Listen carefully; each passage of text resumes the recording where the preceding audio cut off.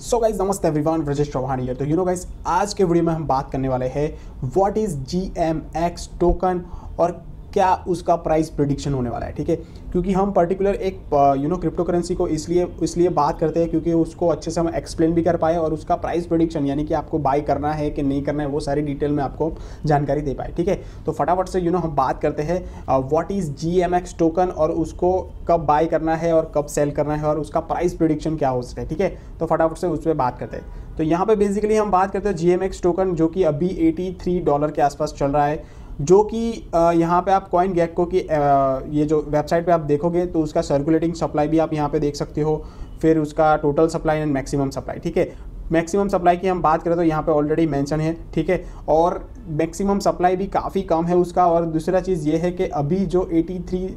83 dollar के आसपास जो चल रहा है गाइज़ वो एक ऐसी यहाँ पे एक ऐसी प्राइस है जिसको अभी मैं आपको नहीं सजेस्ट करूँगा कि आप अभी बाय करो। उसका रीज़न मैं भी आप बाद में बताता हूँ, ठीक है? उसके बाद यहाँ पे हम बात करें उसकी पर्टिकुलर वेबसाइट के वेबसाइट पे हम जाते हैं तो उसमें पता चलता है कि ये एक डिसेंट्रलाइज परपेचुअल एक्सचेंज है गाइस ठीक है? और जो कि एक्सचेंज एक आर्बिट्रम और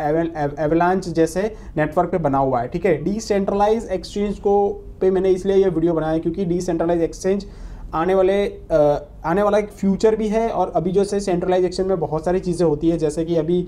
आ, ये जो FTX जैसे सेंट्रलाइज एक्सचेंज का जो कॉलेप्स हुआ जिसमें बहुत सारे लोगों ने अपना जो फंड है कहीं ना कहीं वो स्टक हो गया था और काफ़ी लोगों ने उनका फंड भी गंवाया था ठीक है? तो काफ़ी लोगों का जो ट्रस्ट है वो डिसेंट्रलाइज एक्सचेंज में ज़्यादा अभी बढ़ता जा रहा है ठीक है? तो यहाँ पे आप देख सकते हो तो जे ये जो G M X decentralize exchange की हम बात करें तो उसमें आपको फिफ्टी एक्स लेवरेज तक का यहाँ पर आपको ये जो लीवरेज मिल जाता है और directly from your wallet you know जैसे कि आप मेटामास्क यूज़ करते हो या फिर ट्रस्ट वॉलेट यूज़ करते हो, जहाँ, वहाँ से ही आप यू नो काफ़ी अच्छे से लीवरेज लेके यहाँ से ट्रेडिंग कर सकते हो, ठीक है? तो यहाँ पे उसका ट्रेडिंग वॉल्यूम से लेके उसका जो भी ओपन इंटरेस्ट से लेके टोटल यूज़र कितने हैं, वो सारी चीज़ों का यहाँ पे उन्होंने बताया है। बाकी इसमें ज़्यादा कुछ जानकारी के लिए कुछ है नहीं बट यहाँ पे जिस तरह से उसका जो भी प्राइस अभी बढ़ा हुआ है तो मैंने जो बताया है कि क्यों उसको अभी बाई करने की ज़रूरत नहीं तो यहाँ पे उनके जो फॉर आवर की ट्रेडिंग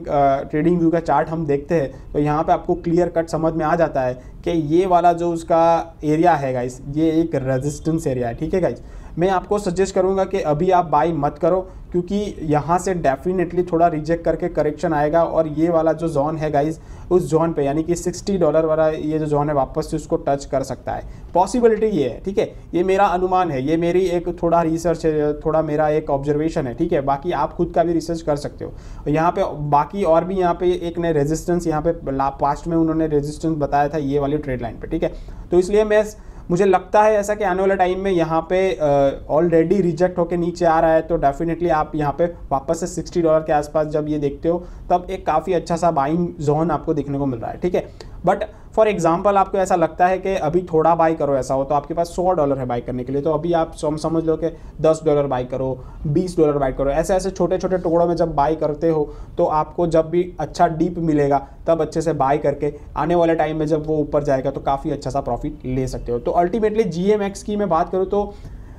अभी ये 68 रैंक पे चल रहा है, ठीक है? काफ़ी अच्छा सा उनकी मार्केट कैप और काफ़ी अच्छा सा उन्होंने कैप्चर कर लिया है वॉल्यूम बट आने वाला टाइम में वो कैसा परफॉर्म करेगा और कैसे आपको उसमें से बेनिफिट मिलेगा, वो आने वाला टाइम में ही आप, मैं आपको अपडेट दे पाऊँगा। तो इस वीडियो में गाइज़ इतना ही। जीएमएक्स को कब बाय करना है होप आपको समझ गए होंगे। और आने वाला टाइम में उसका जो प्राइस प्रिडिक्शन की जो हमने बात किया आ, वो आने वाला टाइम में काफ़ी अच्छा सा ऊपर जा सकता है बट वो कब जा सकता है वो ये वाला जब ये जो रेजिस्टेंस है वो ब्रेक करता है तो आराम से वो हंड्रेड डॉलर तक का टच भी कर सकता है उसमें कोई बड़ी बात नहीं ठीक है? तो इस वीडियो में गाइज़ इतना ही मिलते हैं नेक्स्ट वीडियो में तब तक के लिए bye see you and take care